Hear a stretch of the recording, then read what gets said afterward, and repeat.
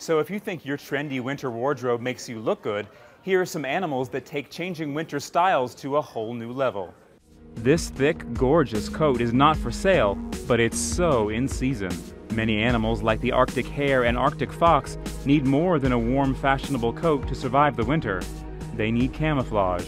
The changing environment works against the animals, making them easy targets. But the changing coat allows the animals to hide from their would-be killers.